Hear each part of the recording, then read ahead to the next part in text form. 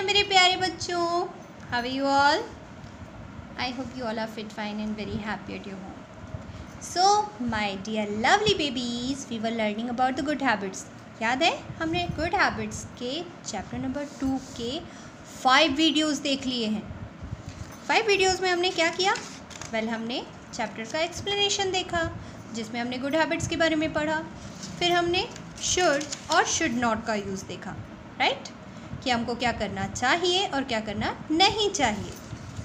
फिर हमने word power के बारे में पढ़ा, जहाँ पर हमने सिमिलर स्पेलिंग्स या फिर सिमिलर साउंड वाले वर्ड्स को देखे थे। ठीक? उसके बाद वर्ड पावर के बाद हम पहुँचे ग्रामर इन यूज़ में, जहाँ पर हमने डो नॉट को डोंट डज नॉट को डजेंट और शुड नॉट को शुडेंट के तौर पे पढ़ा। है ना? हमने ये शॉर्टकट्स सीखे थे। फिर ये करने के बाद हमने क्या किया? हमने और भी ग्रामर सीखी। हमने देखा कि कैसे सेंटेंस बनाने हैं, कैसे वर्ड्स को मैच करना है। फिर हमने ऑलवेज़ और नेवर के बारे में पढ़ा कि भाई, क्या हमको हमेशा करना चाहिए और क्या हमको कभी नहीं करना चाहिए। आज हम सीखने वाले हैं लेट्स के बारे में। Let's means let us let's कब यूज़ करते हैं हम? या लेट अस कब यूज़ करते हैं हम? इसका अर्थ होता है, चलो हम, चलो करते हैं, ऐसा कुछ। जैसे कि लेट्स सिंग चलो गाते हैं। लेट्स ईट चलो खाते हैं। लेट्स प्ले चलो खेलते हैं। लेट्स स्टडी चलो पढ़ते हैं। या फिर let's discuss about the use of let's चलो लेट्स का यूज़ करना, करने के बारे में हम डिस्कस करते हैं। तो शुरू करें। Rewrite each sentence with let's हमको हर एक सेंटेंस को लेट्स का यूज़ करते हुए लिखना है। कैसे लिखना है? We should dance we should dance को उन्होंने कैसे चेंज किया? वी शुड की जगह पर लेट्स लिखा बाकी का वैसा का वैसा। वी शुड डांस मीन्स हमें डांस करना चाहिए। होता है ना जब आप लोग गेम खेलते हो तो एक किसी बच्चे को आइडिया आता है हमको बॉल खेलना चाहिए। फिर एक बच्चा कहते हैं चलो चलो हम बॉल खेलेंगे। या फिर चलो चलो बॉल खेलते हैं। ऐसा कुछ। सो so, यहाँ पर ये हुआ लेट्स डांस चलो डांस करते हैं। Next is we should not shout हमें हल्ला नहीं करना चाहिए या हमें चिल्लाना नहीं चाहिए। लेट्स नॉट शाउट चलो हम नहीं चिल्लाते हैं। Next is we should drink milk हमें दूध पीना चाहिए। इसको हम कैसे चेंज करेंगे?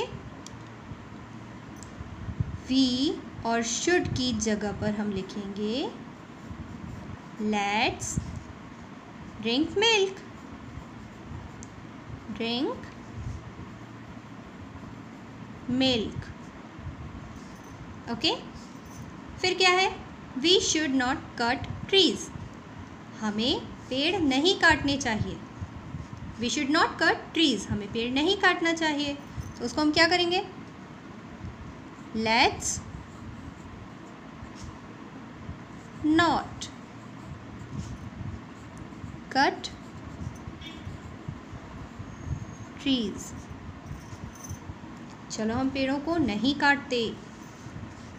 We should go home now हमें अभी घर जाना चाहिए।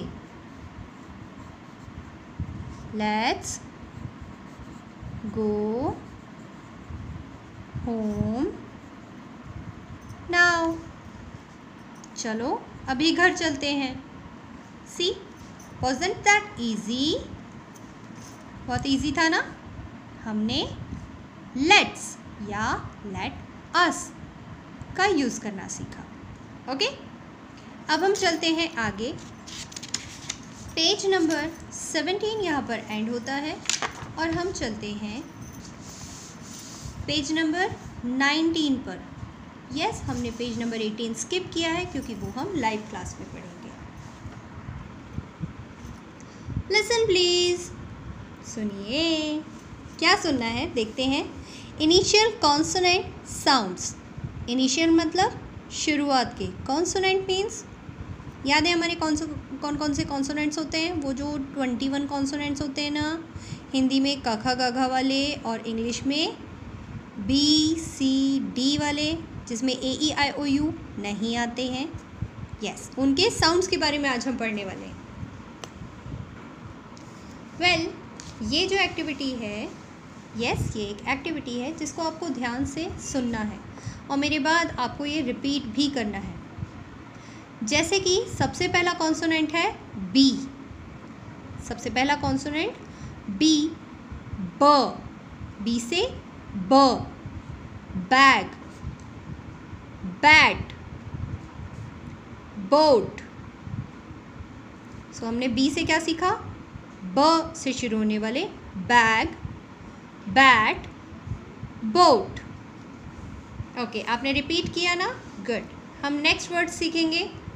सी से शुरू होने वाले. सी का प्रोनाउंसिएशन क और स दोनों होता है. यहाँ पर हम क से पढ़ेंगे. क cat coat cock cat goat, cock. Then the next is D, do, dog, doll, drum. F, f, fan, fat, fish. G, g, G से दो प्रोनाउंसिएशन होते हैं, एक तो होता है ज और एक होता है ग हम अभी ग के बारे में पढ़ेंगे। गोट गर्ल गन अब नेक्स्ट इज़ एच एच का प्रोनाउंसिएशन होता है ह ह से hat hen hand okay well well, ये हमने सीखा इन लेटर्स के प्रोनाउंसिएशन नेक्स्ट हम देखते हैं जे से jar jug jeep. Next is K की काइट किंग के से क फिर एल एल से ल लैम लायन लॉक वेल ये जो स्पेलिंग है L A M B lamb लेकिन इसमें बी साइलेंट होता है, इसलिए हम इसको सिर्फ़ लैम पढ़ते हैं ओके वैसे ही बहुत से लोग इसको लॉयन बोलते हैं it is not lion it is lion क्या है ये? लायन और ये है लॉक देन एम एम म man moon monkey okay next is N nut nose nest next is P P से प पेड़ it is not pear, it is pear. Pale. Pen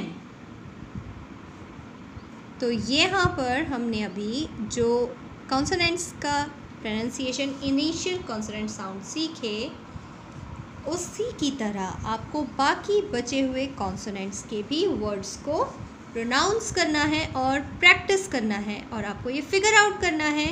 कि जैसे कि सी के दो तरह के प्रोनाउंसिएशन होते हैं, एक होता है स और एक होता है क। वैसे ही जी के भी दो होते हैं, ज और ग। अभी हमने ग पढ़ा सी पे हमने क पढ़ा।